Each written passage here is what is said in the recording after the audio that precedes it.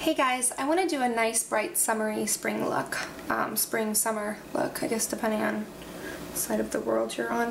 Um, I have here a, an eyeshadow that I've been dying to use. It's the Lancome Coral Crush eyeshadow. And so I just wanted to hop right into it. I think that this is the perfect palette for spring and summer. And I have some different tools I want to use with it. And um, most importantly though, my base is already done. I did that in another video when I was talking about Trish McEvoy's Instant Eye Lift, which I love. Um, this one I want to make just real fun and easy and show you guys I want to show you guys how simple it is to use the Lancome palettes. For my eye base, I'm using my favorite Trish McEvoy Eye Base Essentials. 10 minutes to focus. Um, I'm using the Eye Base Essentials in Bare.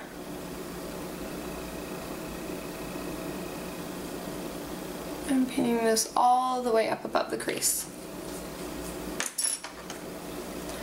And blending it out with a synthetic flat brush.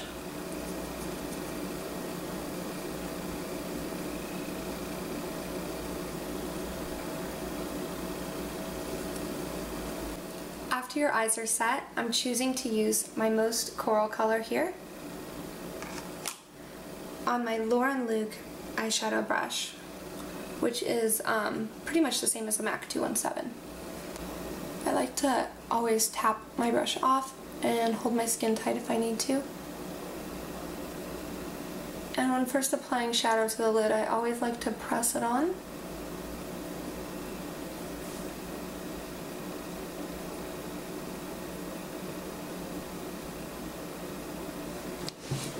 and then blend.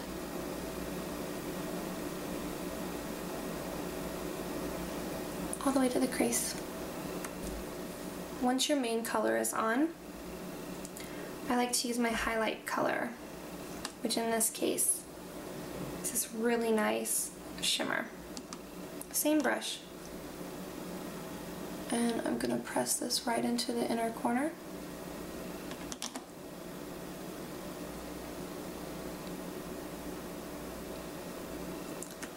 and blend the top of the color up to the brow.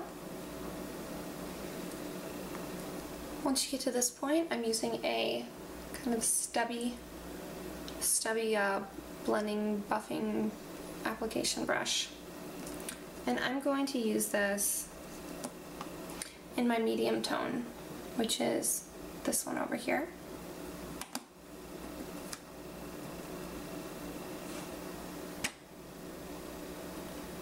I'm going to start by working this halfway across the lid from the outside.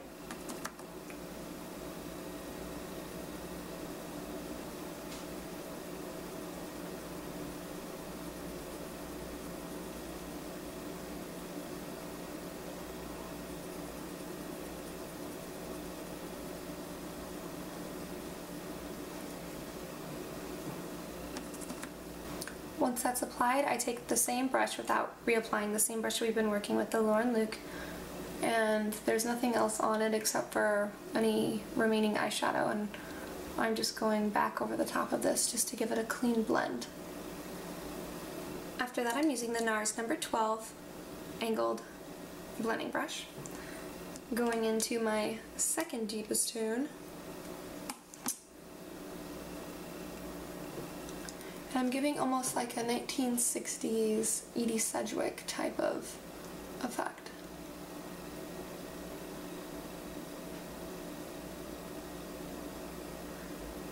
Notice how I'm keeping the brush against the skin at all times and almost doing a windshield washing. Back and forth blend. You want to do a little at a time.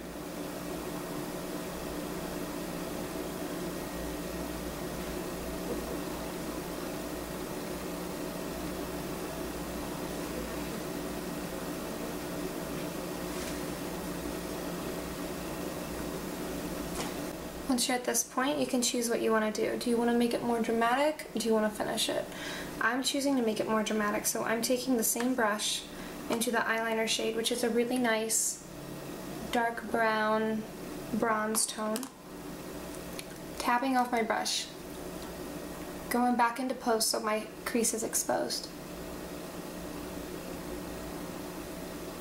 And just right from the outside.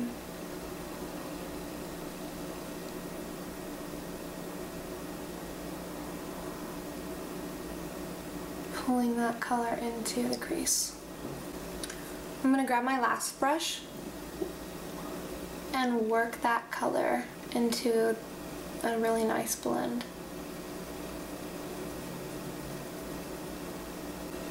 And then grabbing my first brush and blending it out even more. Now I'm going to take a liner that is a NARS Larger Than Life eyeliner. It's a dark brown, but it's real nice chestnut brown. Has a lot of red to it. Um, this one is called Via de Martelli. I'm gonna hold my skin tight and just brush this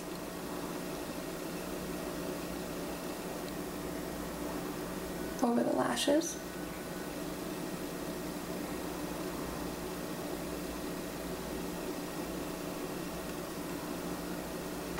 I'm going to take a Dior eyeliner brush, go into my shadow liner, holding my skin tight.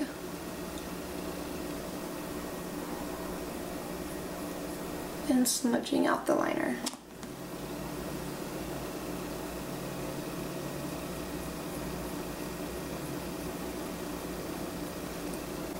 I'm going to pop a bit more Instant Eye Lift under the eye, right here.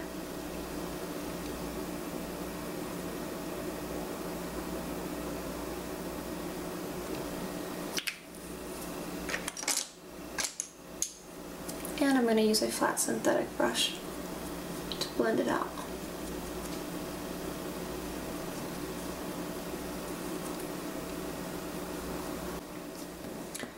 To make this look pop even more, I'm taking a Stila Diamond eyeshadow. They look like this. I've depotted them. I'm using the most golden one. I Now that it's been depotted so long, I don't remember the name, but you have to rub with your finger on it. It's the only way it's going to work.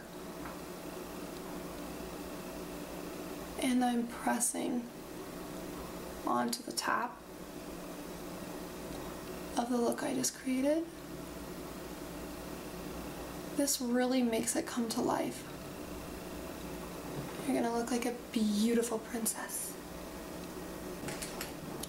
To make the look pop, this is totally optional, but I'm taking a liquid felt tip liner and I'm not winging it out, I'm just pressing it against the lash line for the most depth.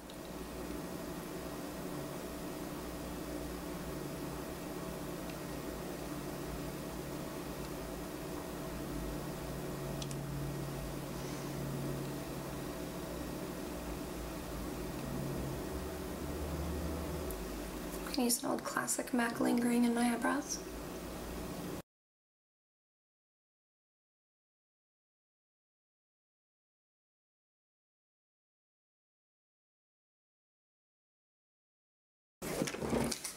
Mascara, using MAC Cosmetics in Dimension Extreme, in Extreme Dimension 3D. MAC Cosmetics in Extreme Dimension 3D Mascara. My lashes stay pretty curly, but definitely curliers if you want to.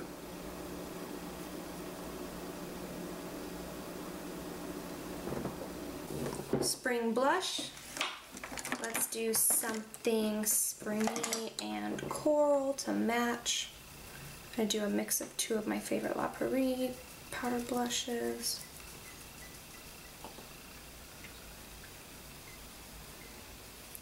I have the the Trish um,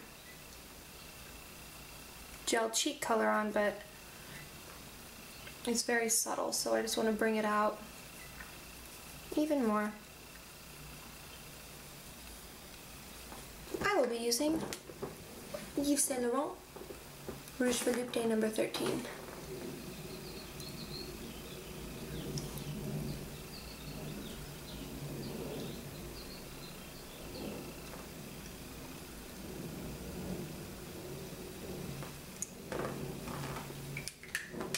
And there you have it. A flirty, date appropriate, springy, summery look. So, I used, to recap, let's see if I can do it off the top of my head without looking down.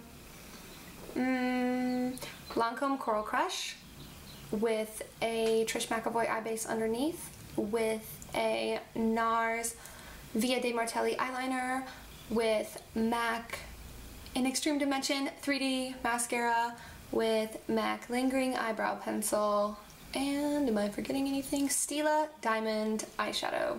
The pressed eyeshadow with the pressed pigment in it. Or any pressed pigment that's your favorite. So that is what I used. I only used uh, two, three, three, ah, a couple brushes. Um, I think this is such an easy look to recreate. I did um, a mix of just the favorite coral blush of mine and the Rouge Volupté number 13 YSL lipstick. So uh, can't wait for that warmer weather, guys. And now when it comes, you have the perfect thing to do. So thanks so much for watching and have a great afternoon. Bye.